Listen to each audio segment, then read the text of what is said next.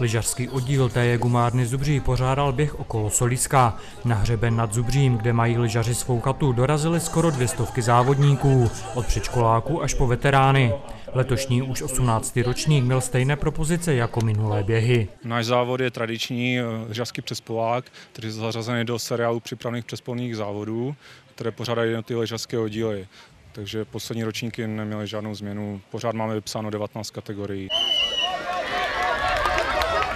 Počet přihlášených závodníků rok od roku stoupá a stále větší zastoupení mají běžci z domácího Zubří. Právě, že nám dělá velkou radost to, že čím, víc, čím dál tím víc běhá víc domácích ale jsou tu i zástupci z jiných oddílů a z, z celého kraje. Hned nejmladší kategorii Benjamínků vyhrál s velkým náskokem Jirka Divín z pořádajícího té Gumárny Zubří.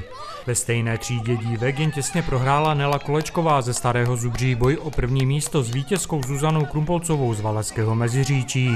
V minižácích se pak dokázal prosadit Lukáš Volný z domácího oddílu. Šikovných dětí tu máme strašně moc, takže všichni, co se umístí na bedně a všichni, co doběhnou, tak z těch máme radost. Vyjmenovat nejlepší ze všech 19 kategorií nejde.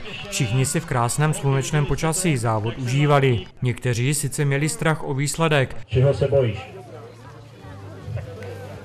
že nevyhraju. Ale určitě už se těší na další závod seriálu, který pořádá Téje Valeské Meziříčí.